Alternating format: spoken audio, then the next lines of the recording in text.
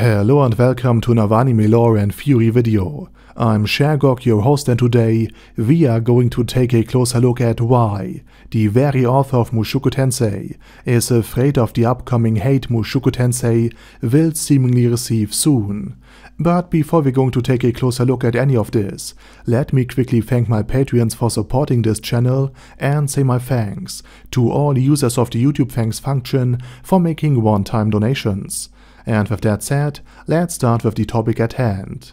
Mushoku Tensei has always been a controversial anime, not because it says or does controversial things, but because the characters in the anime are not always morally good, and this is shown and illustrated. Now, I know it sounds ridiculous to expect that every protagonist or point of view character must always be good. I mean, just think of Jaime Lannister from Game of Thrones, who slept with his sister, which also later sparked an entire succession crisis and a war of succession because Joffrey wasn't Robert Baratheon's son, and then when he got caught, rather than doing the moral upstanding and right thing and coming clean, Jaime threw Bran out of the window to prevent the discovery of his affair. And again, this was just a part of the first episode. The peasant boy pressed into military service at arguably the harshest border of the entire Seven Kingdoms that Ned Stark had been beheading for deserting in the face of the others was also not entirely good or just. Ned Stark had been warned about the White Walkers and never did anything about them, except beheading the messenger. And he was the closest thing to a morally good protagonist that the world of Game of Thrones had. However, no one would accuse George R. R. Martin of being evil just because he writes about such things, or hate him for it. And generally speaking, it's completely normal for complex characters, especially grey characters, to make wrong decisions, decisions they later regret. And I find it amazing that seemingly only anime, manga, and novels, so everything that comes from Japan, are not allowed to do or show this. And the hate against the author behind Mushoku Tensei, Rifujin-sama, was so extreme the last time that he now spoke out on Twitter, before the season was even released, and is now worried that there will be another wave of hate, just because his characters aren't these monotonous, 100% good standard isekai blank slate characters. Again, just imagine how boring Game of Thrones, Overlord or Goblin Slayer would be if everyone was always a 100% good guy. There would be no story to speak of.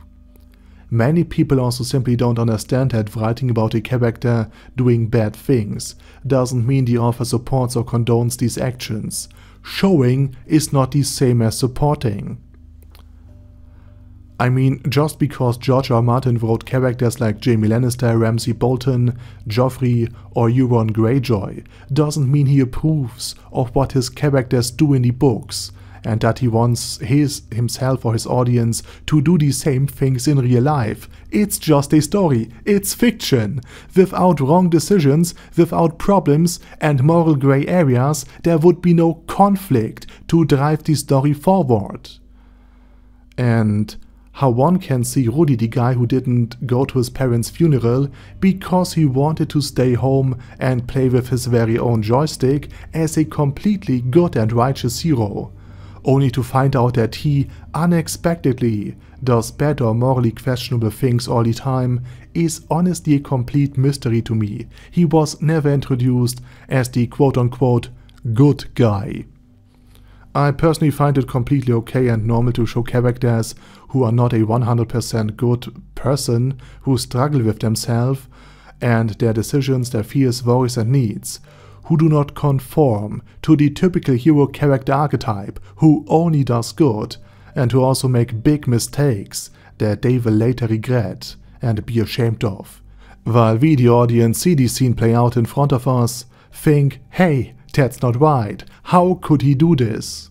And yes, people who have already read the novels will know what I'm talking about. And yes, showing something that happens all the time, all over the world, and also in Japan, is reason enough for such tweets from the very author of the series. So in summary, there are some scenes in the second half of Mushoku Tensei's second season that are not okay in real life. And I also condemn them in real life, and would not do them themselves. And the author of the story now fears that the next hate wave will break over him, and the anime, just for illustrating and portraying these things. And for those who want to know what the author most likely referenced, spoiler alert, you have been warned, Rudy has married Sylphy and now has a happy life. But he also will later cheat on Sylphiette with his former teacher Roxy Migurdia, a few days after he lost his father and found out that his mother did not survive being spirited away intact either. He himself was also wounded during the rescue and lost half of his arm. And in Rudy's defense, he did not do this because he was tired of Sylphiette or because he hated her, but because he was at an absolute low point of his life.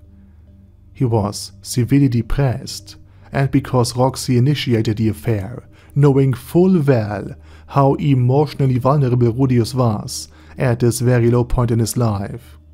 Yep, cheating after being emotionally completely devastated, lonely and seduced. This is most likely the controversial thing that will lead to another round of hate, directed at the author and the wider staff and team behind it.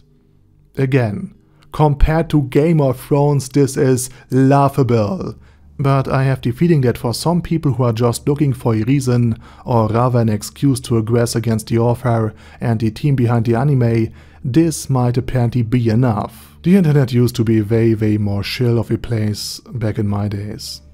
Anyway, with that said now it's your turn. What are your thoughts about Mushoku Tensei and the seemingly again uh, second hate wave that the anime will now receive?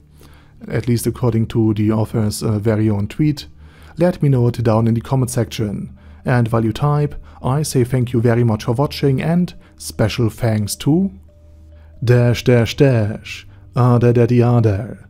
ASK, Bad Guy Yi, Bad Burrito 316, Beezer, Ben C, Brandon D, Chrissy, Crowley 0221, Sia, Crystal Prime, Dead Slime, Death is Mercy, Deathless Dragonlord, Demon Xenomorph 1987, Devin Downen, Ding Dong, Dragonlord Placido Saxophone, Duckwagon, Dunkler Krieger, Dystopia, Dystopia II, Enigmatic Unicorn, Feral Shivan, Guy with That Head, Hector Marino, Hoss, Huster, Jacob G, Jana B, Jason, J. Morris, Chromius, Kyle R, Lee K. Long, Legendarius, Lelouch Britannia with a Mustache, Lexus Fox, Lord Nishikian Rai, Lord Touch Me,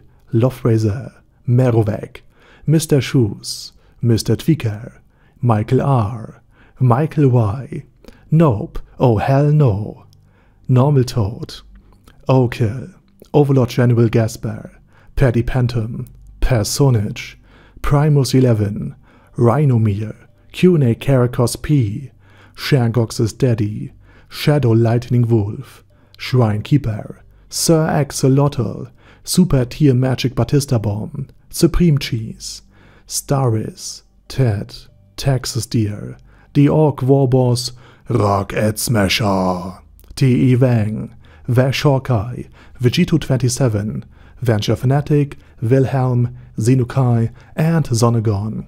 Thanks guys. Anyway, have a nice day, and I hope to see you all again soon on my next video.